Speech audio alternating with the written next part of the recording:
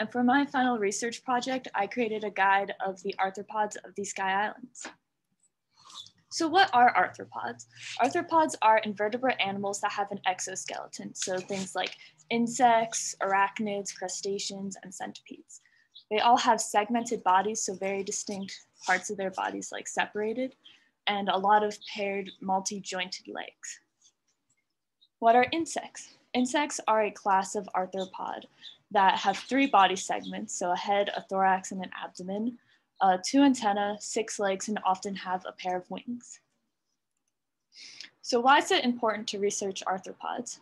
Arthropods provide a lot of ecosystem services such as pollination, like the Western honeybee, pest control, like the American ruby spot dragonfly, which eats a lot of mosquitoes, waste processing, such as the sand cockroach, which helps in decomposition, and as a food source for a lot of vertebrates, such as birds, reptiles, and amphibians, like the southwestern tent caterpillar here.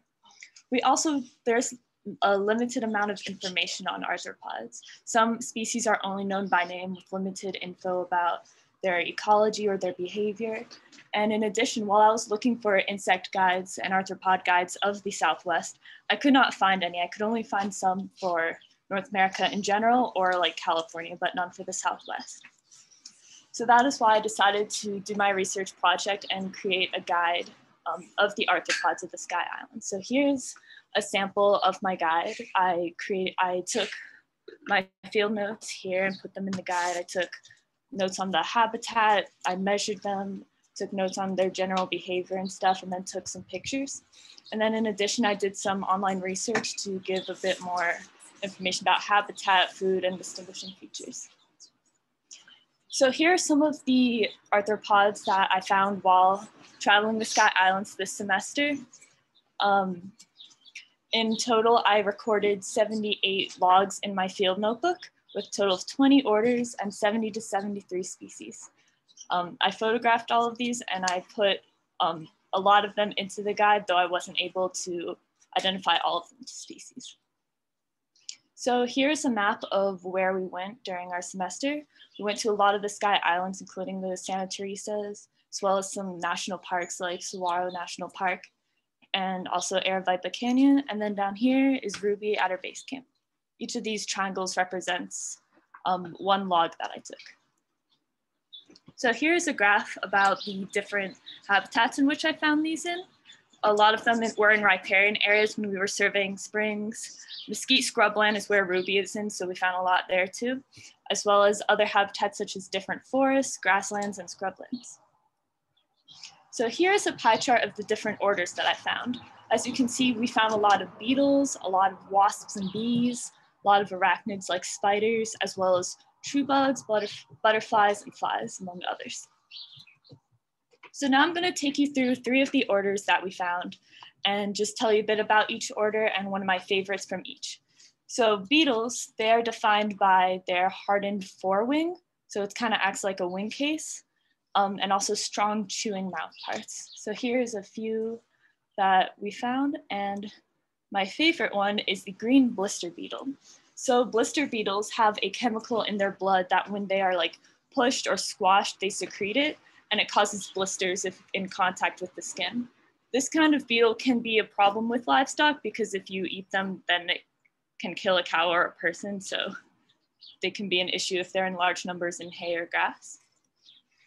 Another order is the true bugs.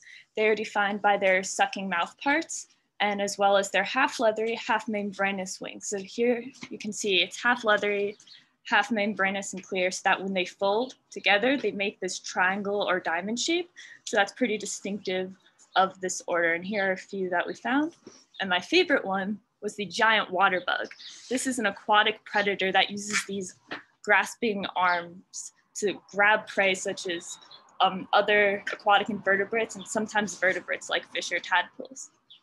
Um, they then inject um, a digestive enzyme which turns the insides into juice that they can suck back up.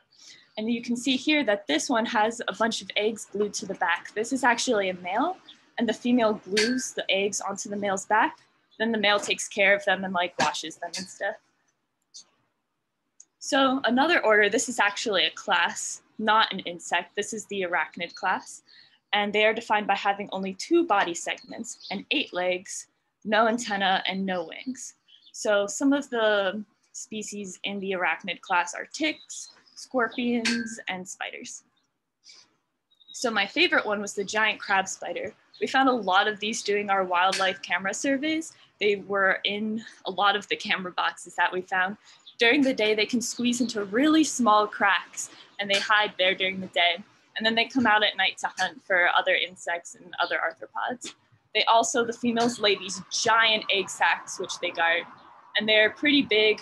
They're called crab spiders because they can also run sideways really fast. And they can deliver a painful bite, but they're not dangerous. And then a bonus one, the giant vinegaroon. This is also an arthropod. It is also called a whip scorpion, but it is not a whip scorpion, or it is not a scorpion. Um, they do have these cool claws. We didn't find a vinegaroon. We just found one of their claws, but it's still really cool. Um, so they have these little claws here, and then they're called a vinegaroon because they can spray this thing from their abdomen. They can spray a substance that is 80% acetic acid. For, for reference, vinegar is only 5% acetic acid, so you do not want to be sprayed by one of these. Um, these aren't super rare, but they're not very often seen because they're strictly nocturnal they don't glow under black light like scorpions do, and they're not attracted to light. So it's rare to see them. They also just seal themselves in their burrows during the dry season and are only out during the wet season. So unfortunately, we weren't able to see a live one, but it was pretty cool. We got to find one of their claws. So in conclusion, there are so many insects and other arthropod species in the Sky Islands that haven't even been documented. There are about 35,000 species in the Arizona insect collection, and some of the ones that I found weren't present in that collection. So still new insects and arthropods are being discovered, and it's important to continue researching and logging them. Uh, thank you for listening to my presentation, and now I'll turn it back over to Zoe.